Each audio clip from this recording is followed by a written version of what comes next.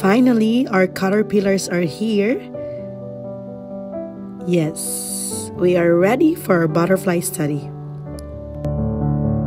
After a few days, they are now big and chunky and they are ready for the next stage, which is the chrysalis.